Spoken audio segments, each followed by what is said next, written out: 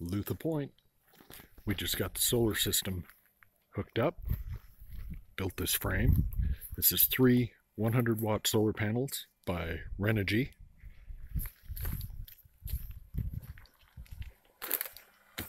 Using this big Stanley box for the moment for a powerhouse. We have the Rover 40 amp MPPT charge controller. That's a load light. 400 watt inverter. This is an iron, a lithium iron phosphate battery we picked up at a recycler for 25 bucks. We use these 20,000 milliamp Anker batteries right here. We use about six of them, and that will keep our phones, tablets charged up. It lets us run some USB powered LED lights to light the house. Have a few of these little flat batteries just for you know charging the vape or whatever the hell you want to do. Need more batteries, but this is an awesome, awesome battery. 25 bucks. It was a gamble. About 500 bucks to buy new. I had to, it wasn't working properly. So my wife suggested we cut the case off and see what's going on in there. So I took a hacksaw and cut the top of the battery case off. It's full of, uh, I don't know, batteries.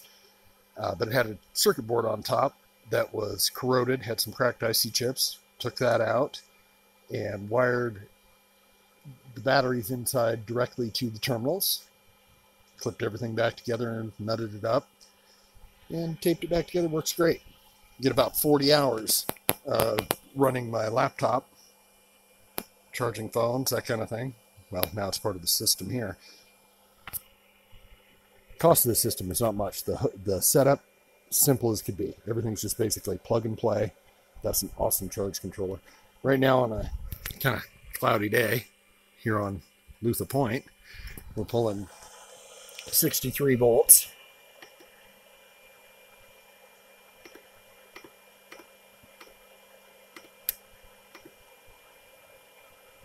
Just this morning we've collected 10 amp hours. Battery's still at 100 even though I'm charging all these batteries. Look at that. Pulling 17 and a quarter, or 7 and a quarter amps. Just like that.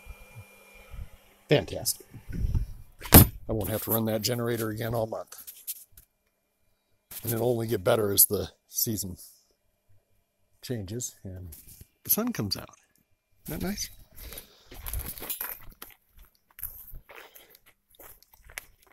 Okay, so for about 500 bucks, you could have the same system and be off grid like LUTHA Point. Thanks.